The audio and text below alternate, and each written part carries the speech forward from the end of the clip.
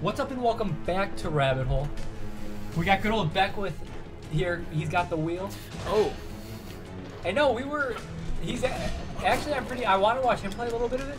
Not only that, I think he's getting a little bit of a kick out of it over there. So let's uh, just see where this leads. well, the problem is I Now feel you're like now I screwed it up. Gridlock straight up there. So, oh, use fire to kill zombie. Now, you know if you swipe at the like fire here, I was doing like a double jump and a swipe, and I kind of was able to light it. Maybe it was pure luck, but like if you, yeah, there you go. Uh, I thought you had it. Yeah, there you go. Just gotta do some fancy footwork. Nice. So fire kills zombies. We know that now.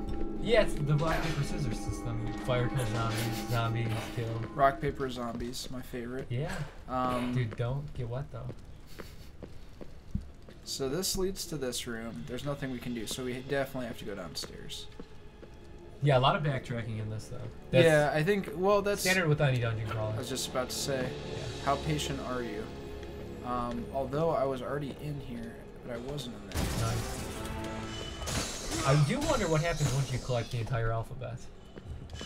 I don't know. Hey, we're, almost halfway there, actually. So now this is where you have a little boss. Uh, not even a boss, just a few enemies that they don't want you to lose. Yeah, screw it. Get them, get them. Flashing right here. Um, nice. Yeah, eat that pizza. Or the fish, yeah. Trying to get a healthy diet. Yeah, Get those omega threes in the body. yeah. That's what I'm talking about. Nice. Got some armor. Feeling, feeling myself. Feeling good. Yeah, I thought there was stuff in there. Yeah, go for it. So now we're utilizing the double jump method, and I would say there's a, I don't know how much skill was involved in that. Not much, but. Fancy footwork is the bottom line. So these Oh! They don't take much health away though. no, they, that should. I mean, honestly, that should have killed me. Yeah. Only in real life, not in the uh, virtual universe.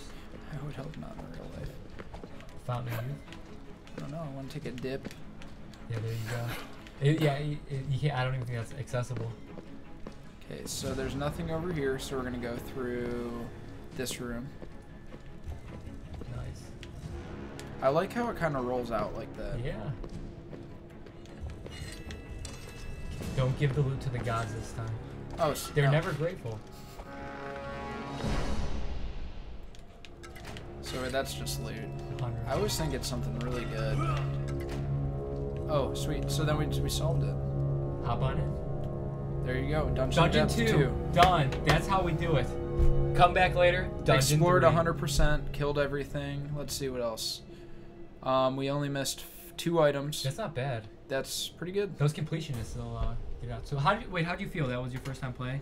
I would. did, at first you were like, ah, these controls are a little weird. Did they come around though? yeah, That's yeah. There's like this minor learning curve, but once you do it, it feels great. I've said it. I just telling Podolsky I'd buy this game if it came out. If I was playing at like a video game store and I saw it, I'd probably be like, I could play this. yeah, As a person who's not a huge gamer, like dungeon crawlers are great. yeah, a lot of fun, a lot of good time sinker. But hey guys, thanks for watching. We'll see you.